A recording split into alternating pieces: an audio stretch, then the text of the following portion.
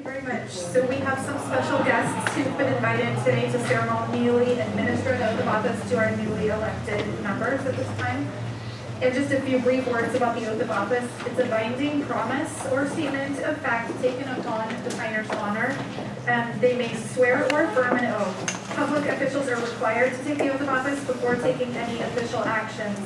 And this is a ceremonial, serious honor. So at this time, we are honored to invite Vice Admiral Anne Rondeau, who is President of the Naval Postgraduate School, to administer the oath to our new Monterey Mayor, Mr. Tyller Williamson.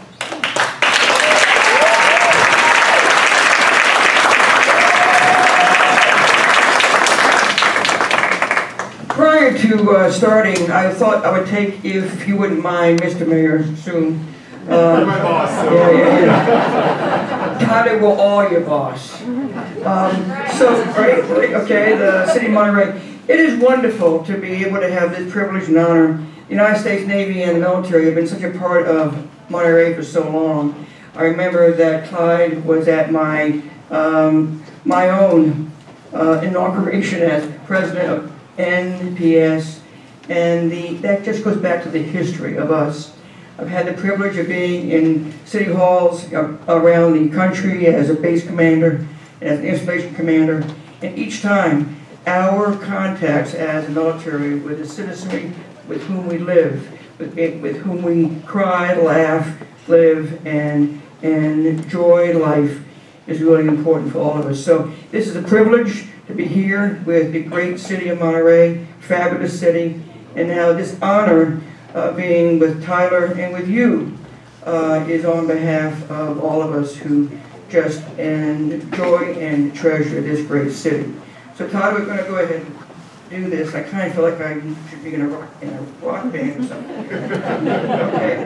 Uh, this is very similar to a military oath. It, it's, a, it's an oath that every president of the United States takes relative to where he or she is, and that all public servants take. Very similar.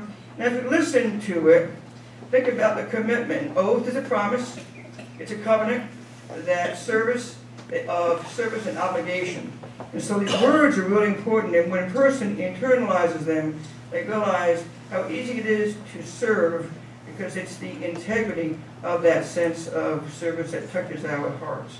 So Tyller, state your name in the right place. I I, Tyller Williamson, do solemnly swear do solemnly swear that I will support and defend that I will support and defend the Constitution of the United States the Constitution of the United States and the Constitution of the State of California and the Constitution of the State of California against all enemies, against all enemies, foreign and domestic. foreign and domestic, That I will bear true faith and allegiance that I will bear true faith and allegiance to the, to the um, Constitution of the United States to the Constitution of the United States and the Constitution of the State of California, and the Constitution of the State of California, and that I take this obligation freely. And that I take this obligation freely without any mental reservation without any mental reservation or purpose of evasion, or purpose of evasion, and that I will faithfully and well and I will faithfully and well serve the duties serve the duties upon which I am about to, to encounter, to enter. upon which I am about to enter. Tyller, it's great to have you as a mayor of Monterey.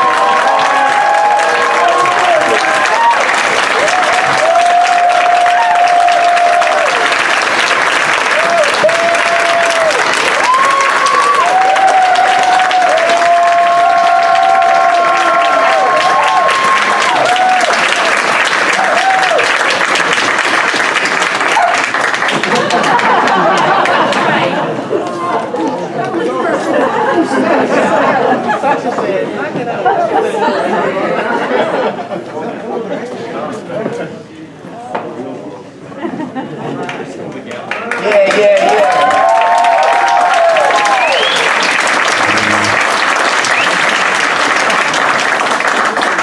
So I think next we're just going to have uh, Dr. Kim Barber come up with um, uh, Monterey County Supervisor Wendy Root Askew, who's going to be doing the ceremonial oath for her. So.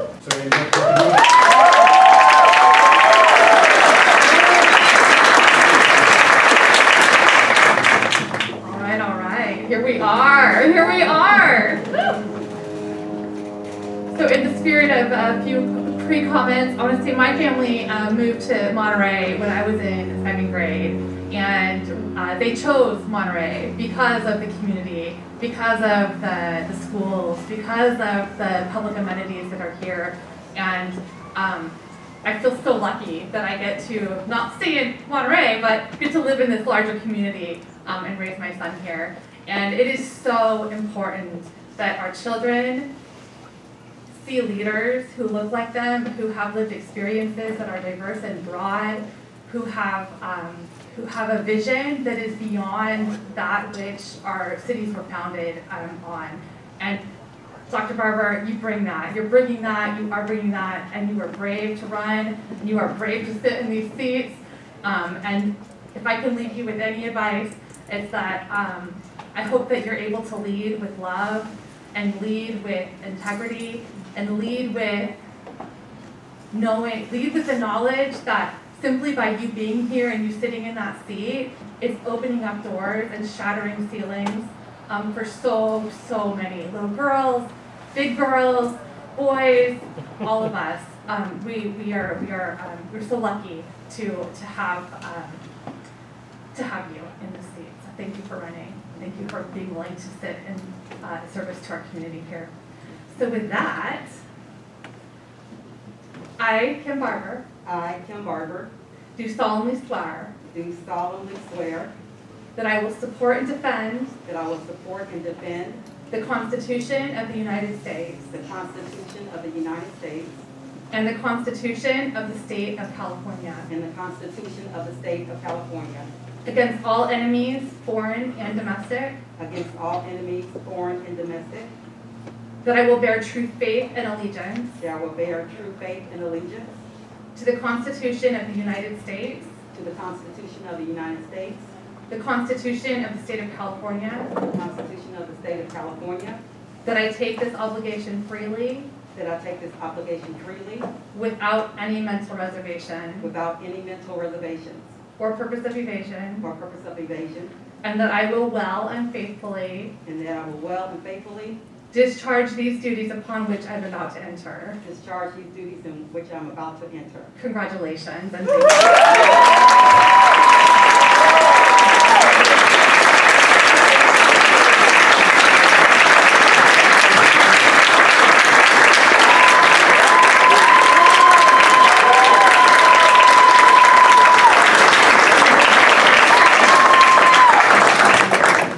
Okay, and at this time, we will do uh, the swearing in of Councilmember Ed Smith, and that will be conducted by our city clerk, Clementine Bonner Klein.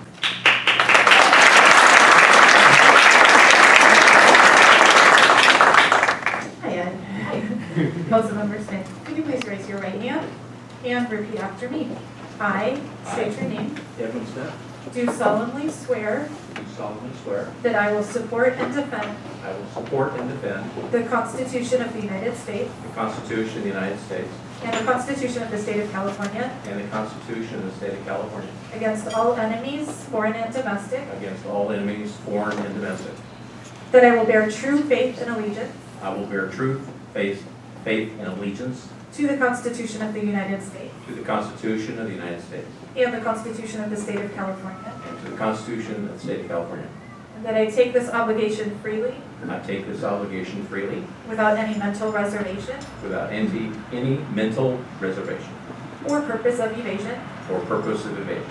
and that I will well and faithfully. I will well and faithfully. Discharge the duties.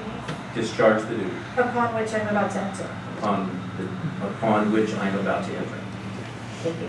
Thank you.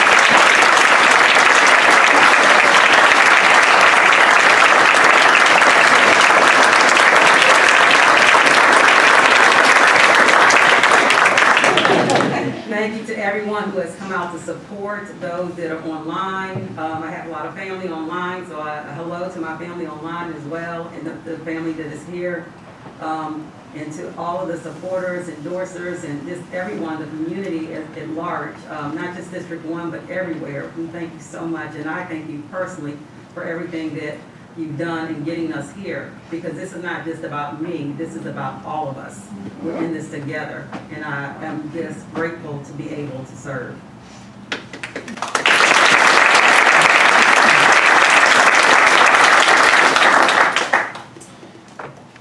Congratulations, Dr. Weber.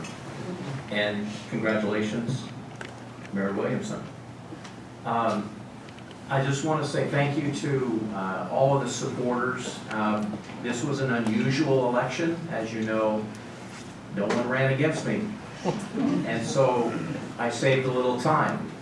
But as I reflected during the process, knowing that we were going through a changed charter because now we have district elections. So I want to say that I've made a commitment to represent District Two, but actually, what does that really mean? And I truly hope that what that means for me and other district council members is that we look at the whole community. That we do not just compartmentalize. That we say we are committed to our entire city of Monterey. As I represent District Two, that means I still represent the city at large, and I appreciate your support. Appreciate all the Facebook notices, the phone calls, the texts. Uh, You know, just the last six months has been a tremendous show of support, and I appreciate that. Uh, It's a little bit strange having no one to have to debate hard against, but we did get to participate in many of the uh, community organized uh, occasions, and that was very enjoyable to be with Dr. Barber, Dan Albert, and Tyller Williamson. And we appreciate the effort that this community goes through to make sure that we have honest elections, that we are transparent, that we vet our candidates, and we know who the community is electing. So greatly appreciate that. And thank you so much to the family, uh, my wife of 49 years, my son, and my daughter-in-law who are here, and my daughter in Florida and her family. Thank you so much for the family support. As has been said tonight, uh, this cannot be done without the support of family, and especially uh, the Tuesday nights that we come together, and we think we're going to be done at 9 o'clock, and it winds up being done at 11:30. But we appreciate the time commitment that the family makes. Thank you for family and friends. Thank you for uh, this being such a wonderful community to be able to continue to serve. And I want to do a shout out to public safety partners, law enforcement, and fire. Thank you for the well, the job that you do so well, all of the city staff that serves this community. And we get the privilege to see from the start of an agenda item to the completion of the service. And we are so privileged to have so many good servants, excellent servants throughout this community. And much appreciated to all of them because they're really the ones that deliver the goods. Thank you all.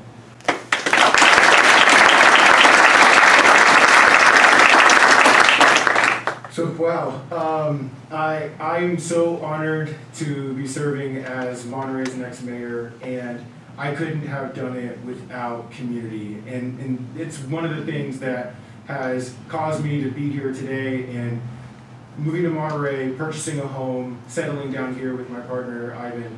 Um, it's that sense of community. And I felt very welcome moving in here and developing the relationships. Um, Mayor Clyde spoke about that earlier um, in his departing speech um, about the need for the community and, and how important that is. And so um, I'm super excited to, to get our sleeves rolled up here and, and get to work um, with this new council. Um, and so I just will quickly speak to some of those things. And I know that a lot of you have been following this, and I, I promise I won't be long-winded here, but um, housing is so important. Um, and I know it can seem like a talking point, and it, you know it can seem like it's a it's an issue that you can try to bring up to um, make folks happy about addressing an issue that might be important to them. Um, I know that housing is hard and it's complex, and I don't think that we're going to solve it over the next two years. Um, but not doing anything at all is not a solution, um, I think, for this council. And so uh, I'm, I'm excited to work with my colleagues, but it's not just about us. It's about the community engaging with us and having a conversation about what that looks like for the city of Monterey. So I, I'm, I'm excited to focus on the issue of housing, but very much connected to that, of course, is water. And us as a city in, in Monterey, um, we don't have um, direct uh, control over those things, but we can have the leadership um, to help work with our regional partners on addressing those issues and making sure that we're solving that, because we're not gonna be able to solve the housing issue um, without it. Uh, And, and the last piece that I will speak to um, is transparency and public engagement. I, I just spoke to this when, when I was talking about the housing piece, but, you know, a lot of you were here because you supported me in my bid for mayor. Um, but your work doesn't end here either. I need you all to show up and be present and bring your friends with you because we need to hear from you. We can't just sit in a silo up here and try to get things done. Um, these issues are going to be hard and complex. And at this point, I'll even speak to um, the people that didn't support me for this election. I'm not here just because of those, the folks that supported me, but I'm here because of the election process and the dem- democratic process that we have. I am here to be a mayor for everybody in the city of Monterey, and I want to hear from you as well. So I hope that we can take this opportunity to engage in, in a public dialogue about practicing this democratic process that we have and really finding those systemic barriers that exist that prevent groups of people within our community from wanting to come out and share their voice in the first place or being unable to share their voice in the first place. So, uh, you know, again, I promise I won't go long on the issues, but just kind of wanted to highlight those quickly. And I wanted to wrap up by giving thank yous to um, all of my supporters. Thank you all so much for everything that you've done from door knocking to hosting um, meet and greets and fundraisers um, to tabling and registering voters um, uh, to doing a car parade uh, around downtown. Every single little thing, whether it's putting a stamp on an envelope, every little bit counts. And I just am so honored to have had the support. I woke up every morning during the campaign pinching myself, I'm trying to understand where are all these people coming from that are offer, offering me support. People that had no clue who I was, or I had no clue who they were. Um, so thank you from the bottom of my heart. Um, thank you to my family. My father, Terry Jack, could you please stand? Is here.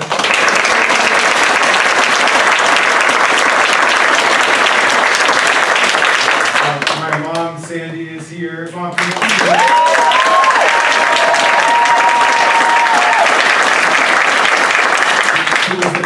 campaign manager uh, for the latter part of the campaign. Uh, And I'll just kind of go in deeper and just say, she would go around canvassing with me. So if you could just imagine the, the, the extent to which she would go to, waking up really early in the morning and being with me till late in the evening. So thank you, Mom, for that. And then my brother Ryan is also here, he's been a wonderful support as well. So Ryan, thank you.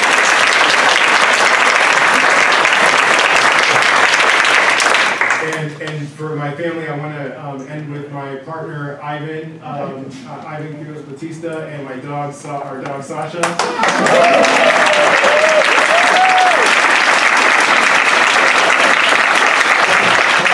Said better, um, that you have to have that support at home, whether it's saying, hey, you're doing a good job, or helping, helping us get back on the right track, and I just appreciate you, uh, Ivan, for being so authentic and, and real, and so supportive of me and patient, um, as I'm running around with uh, a very thin schedule, so thank you so much. Um, and then I want to thank my, my colleagues, um, old and new, I, I want to thank um, uh, our, our previous council member, Dan Albert, for running a very good campaign. I think it created a really good dialogue within our community that doesn't end here, um, but I appreciate him for the service over the last four years with me on the council and going through this campaign, his long, his family's long history of public service. It really just humbles me greater because I recognize um, how important the work is that him and his family have done in the community. So it's just been a great honor. And then finally, I want to appreciate our city staff um, because you all have to deal with us coming in and out um, of office while you're this consistency that keeps the city going. Um, a lot of people will come to me and at, at NPS and, and I'm at work and people are like, oh, so when, when are you leaving NPS? And I said, no, I'm not leaving. This is a, a part-time position. Um, because I think people have this idea that we do a lot more than what we really do. And not to discount the work that we do, I think the decisions, the policy decisions that we make are, are really important. But we couldn't do it um, without city staff. So Hans, I look forward to working with you. Chrissy, um, I, I look forward to continuing our work together and all of our city staff. Um, oh, that's, technology uh, all of our city staff. And, and I, and I, Hans, you taught me not to do this, um, but I do have one more thank you that I, I, I want to give, um, which is to all of our partners um, in, in the city. So the business community, I, I look forward to continuing our partnerships as we move forward um, in our military installation. So, ma'am, thank you so much for doing my swearing in. And um, as much as I respect you and the work that you've done um, at the Naval Postgraduate School, um, I think there's higher symbolism in regards to the need for us to continue to foster those relationships with our military installations within our community, which really is what brought me here. Um, so, I, I, and a lot of the relationships that are, are developed and a lot of people that live here. So, anyways, I'll stop talking. Thank you all so much for being here, and I love you all. Thank you.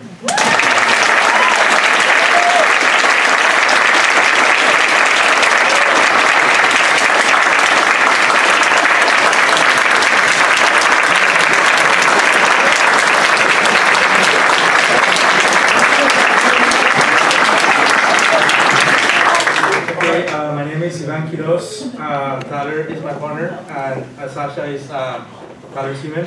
Uh, the, the reason I want to address uh, um, you guys is just to thank you for all the support that you've been providing, uh, you provide Tyller throughout this campaign.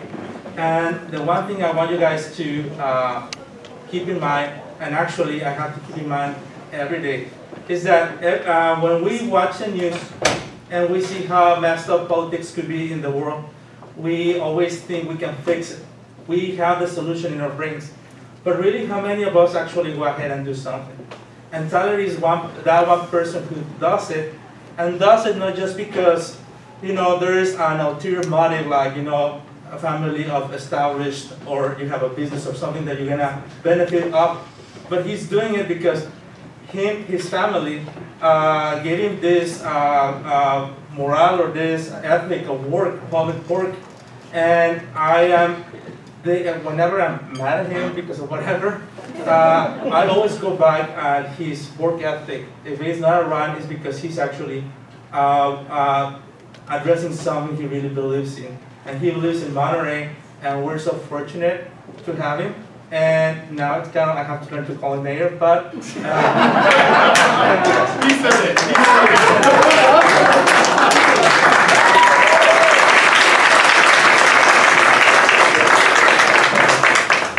Hello, y'all. Hey, Ryan. Um, I'm not that great at public speaking, but um, I just want to say that being the youngest of the bunch, um, I mostly support my brother Tyller, and uh, it hasn't been easy for him. Um, he calls me all the time, and we just sit and chat and talk about how he's going to pursue or how he's going to change the route to get to where he needs to go. Um, I used to live back here in 2018, and uh, he was doing the same exact thing, just sitting there, motivating people, and just being truthful and honest with people. And I think people understand that, and they sort of gravitate towards that type of energy that my brother brings. Um, and it's just an honor just to be here, and once again, um, at another major event, um, to see him accomplish what he puts out for himself. And uh, I love you very much.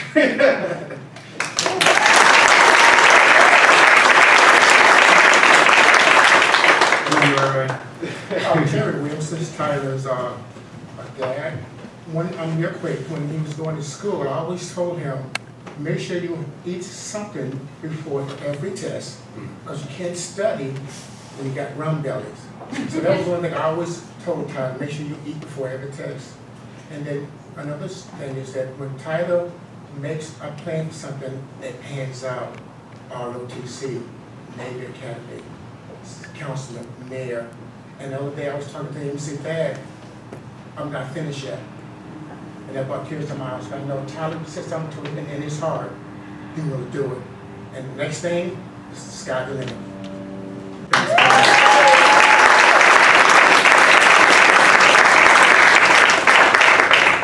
Thank you for the, thank you for the public comments, I love you guys.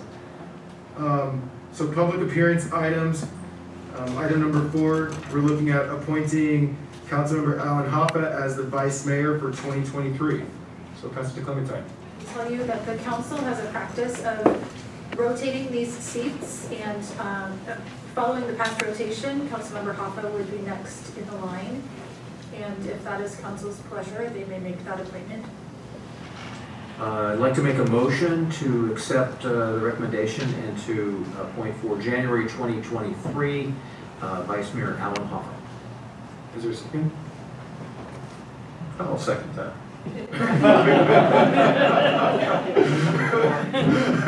Uh, Careful what you wish for. All right, uh, roll call vote, please. Councilmember Barber, Yes. Councilmember Haffa, Aye. Councilmember Smith, Aye. and Mayor Williamson. Yes. Awesome, vote passes unanimously. Congratulations, uh, soon-to-be Vice Mayor Haffa. Um, okay, and I think we're just gonna go to a recess and the council's gonna reconvene at seven PM to, uh, discuss the applic, the, review the applications and provide direction, re the council vacancy. So if you all wanna join us back for, uh, that discussion and we'll have some, um, some consent items as well. So with that, we'll go ahead and recess the council meeting.